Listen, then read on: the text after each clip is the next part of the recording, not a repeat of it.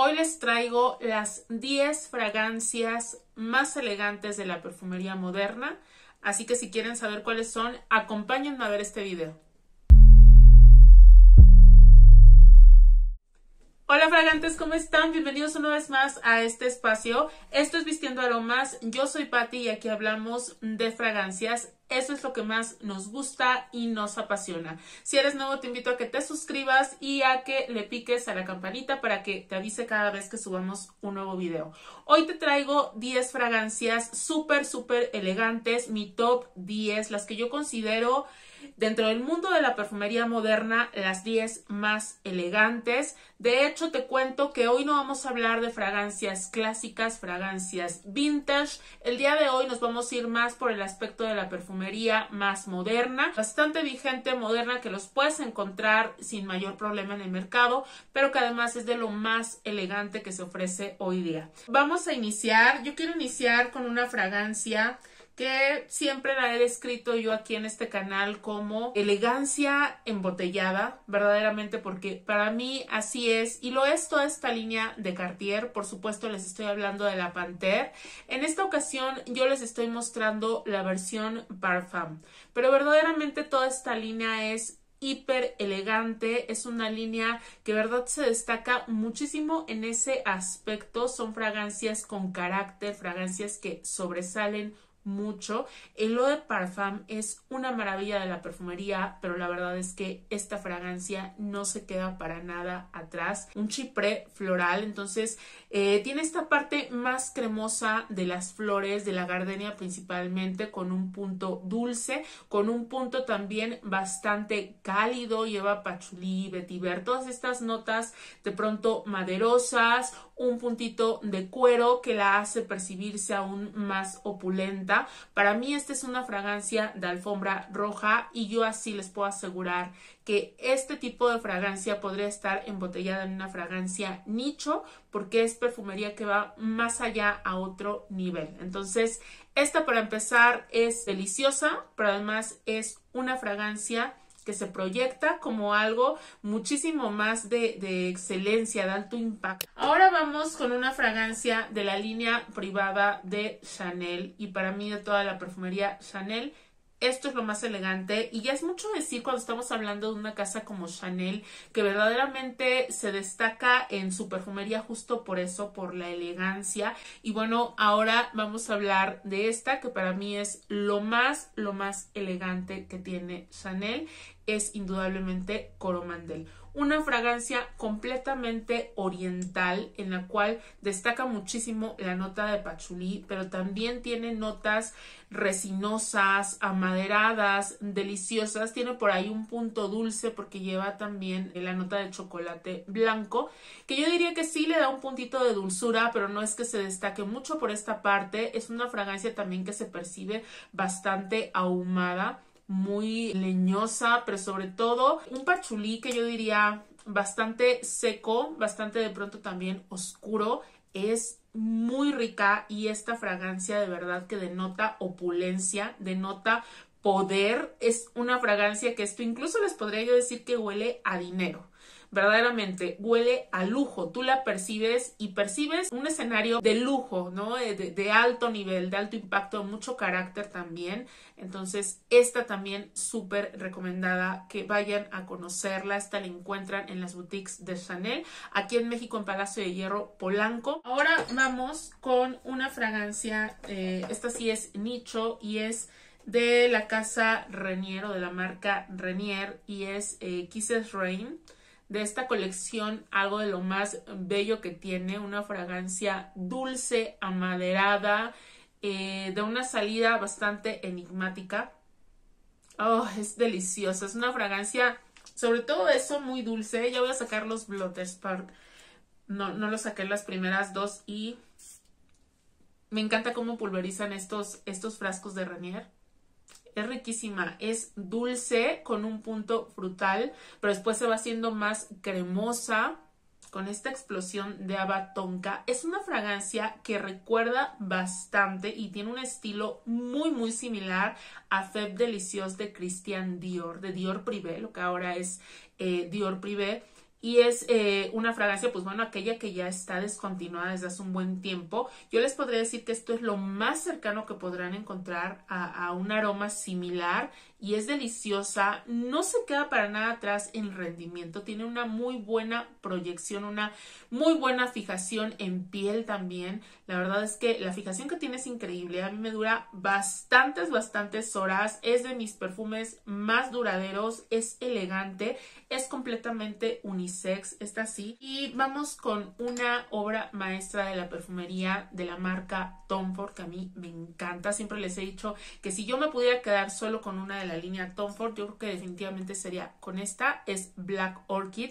Fue mi primer fragancia, de hecho, de la casa Tom Ford, una fragancia muy deseada y que cuando llegó la amé, de verdad.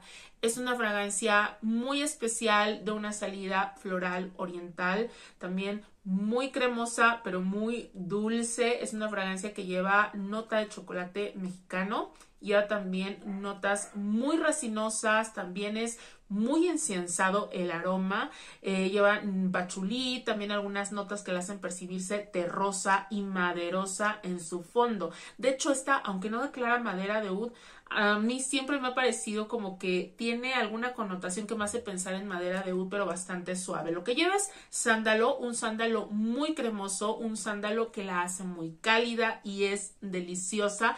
Es una fragancia también eh, de pronto muy polémica. Hay mujeres a las que nos fascina, nos encanta y hay otras cuantas que lo odian por ser una fragancia de pronto tan pesada y tan dura.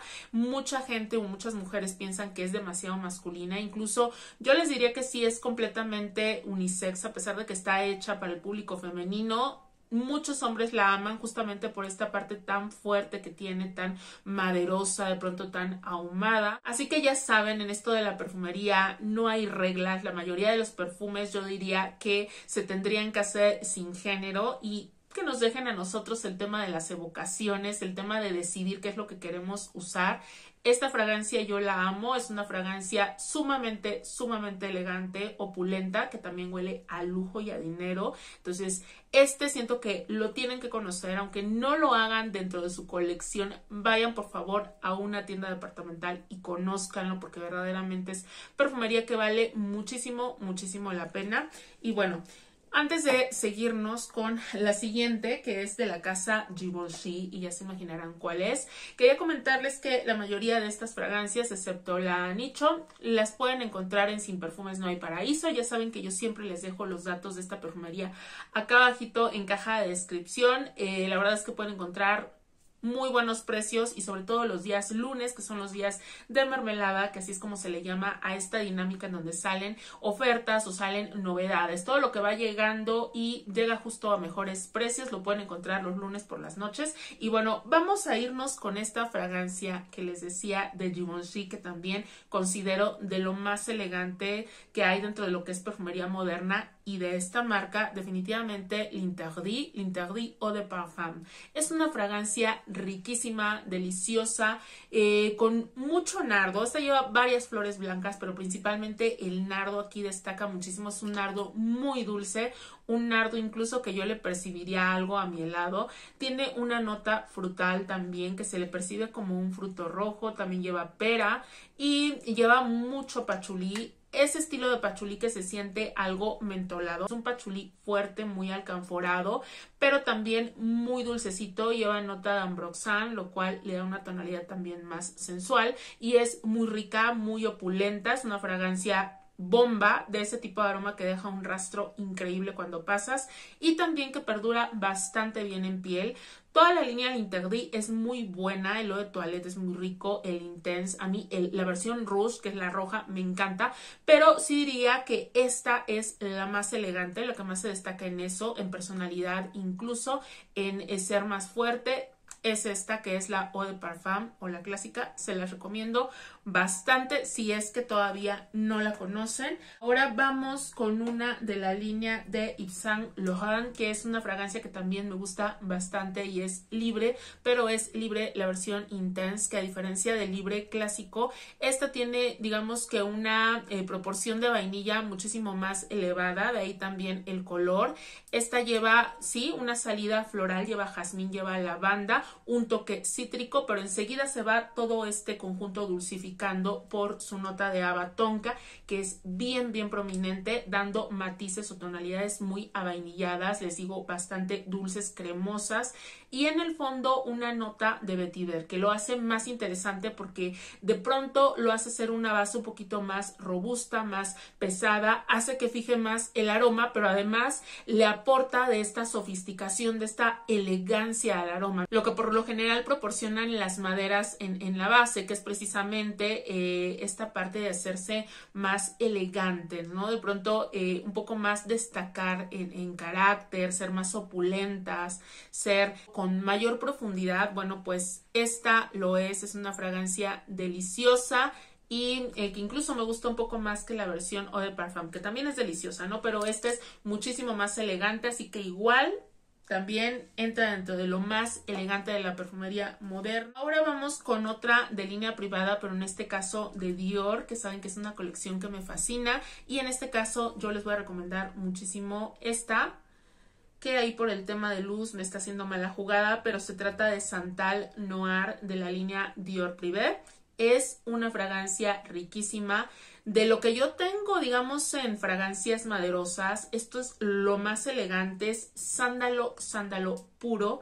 Es un sándalo delicioso, cremoso, cálido, con un puntito dulce porque lleva rosa y esta rosa tiene algún matiz frutal, pero realmente es más madera que nada y es riquísima. Es una fragancia que me encanta para disfrutar solita porque les digo es bien elegante. Es una fragancia que se proyecta de verdad de, alto nivel, de alto impacto que, que tú lo percibes y dices, wow, o sea, ¿quién, ¿quién huele así, no? De este aroma como tan imponente.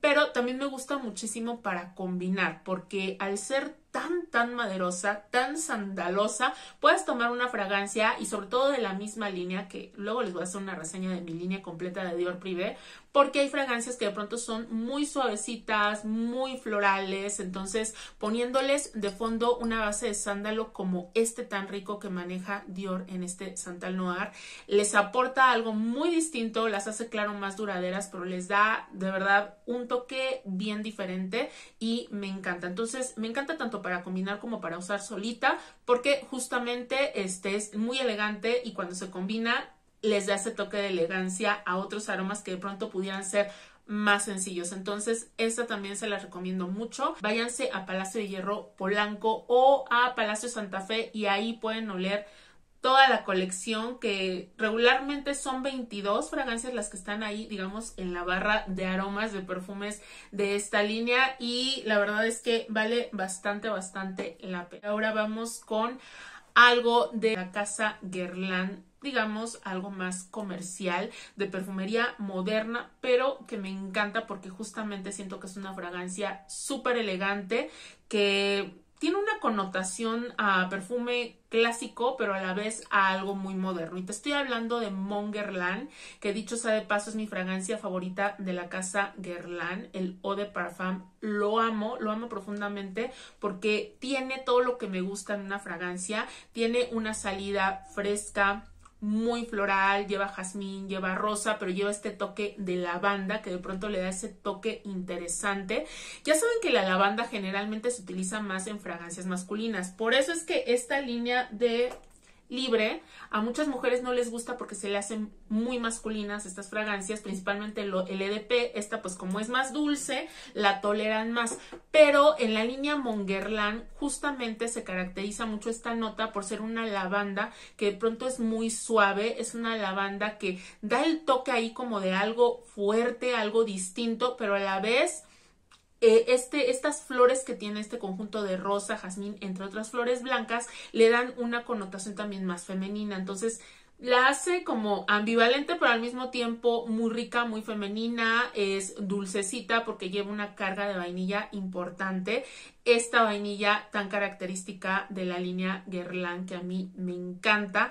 Y ya saben la guerlinada que es el sello de la casa que es aparte delicioso por este cítrico esta vainilla el pachulí ahí eh, de fondo. Entonces es una fragancia bien rica con un fondo amaderado que a pesar de ser ser femenina, tipo romántica, también se proyecta como muy sofisticada y muy elegante es versátil, la veo de verdad que para todo el año, para uso de todo el año y me encanta. Tengo varias de la línea, pero nadie le quita su lugar al EDP, al, al clásico, al primerito, entonces este lo amo profundamente y se los recomiendo mucho. Y vamos finalmente, bueno, todavía nos faltan dos.